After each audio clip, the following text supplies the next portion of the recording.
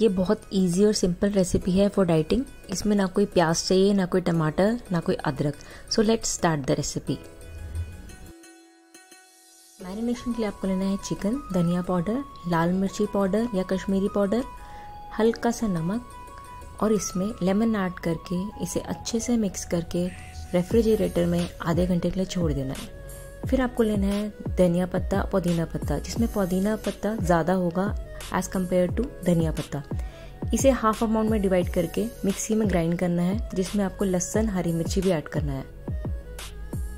एक पैन में बहुत हल्का सा ऑयल लेंगे इसमें ऐड करेंगे जीरा, सरसों और सूखी लाल मिर्च।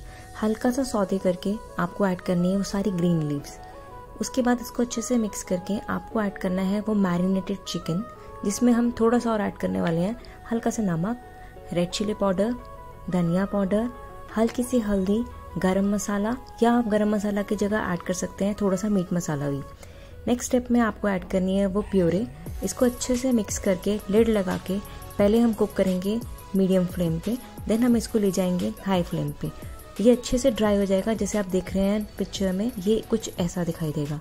ये रेडी है, आप इसको सर्व कर सकते हैं लेमन के साथ। ये बहुत इजी और सिंपल रेसिपी है फॉर डाइटर्स टेस्टी है हेल्दी है. To let's try this recipe today vegetarian लोग रिप्लेस कर सकते हैं चिकन को पनीर के साथ. It's me doctor Preeti here thanks for watching